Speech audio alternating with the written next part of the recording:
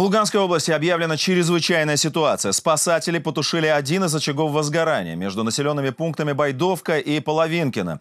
Тем временем площадь возгорания увеличилась до 11 тысяч гектаров. Об этом сообщает в Госслужбе Украины по чрезвычайным ситуациям.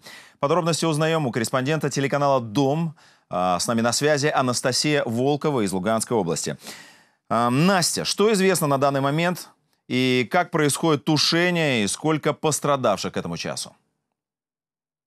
Мы находимся в селе Сиротино возле Северодонецка. Буквально только что тут закончилось совещание штаба по ликвидации чрезвычайных ситуаций. Глава ГСЧС Михаил Чечеткин заявил, что в пожарах на Луганщине погибло 9 человек. Вчера одновременно возникли пожары в семи районах области. Всего насчитывает 146 очагов пожара.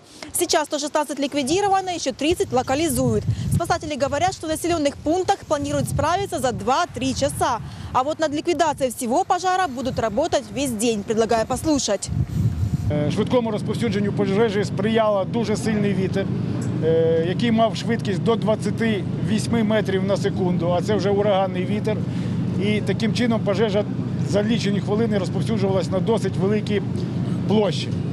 Пожарах пострадал 31 населенный пункт. Э, Количество домов и ущерб пока неизвестен. За моей спиной вы можете увидеть догорающий дом. Люди пытаются потушить э, всеми возможными средствами. Э, Предлагаю послушать. Внезапно вот отсюда все понеслось, и мы надеялись, вот это расстояние нас спасет, но оно нас не спасло. Настигла нас такая вот беда. Вот теперь вот наводим порядки. Заходит зима, остались без дров, остались вот без инструментов.